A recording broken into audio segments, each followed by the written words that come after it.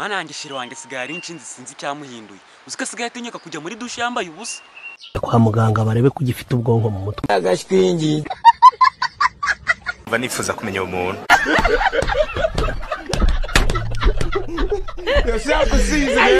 ni umwijogonyoro muba muhazi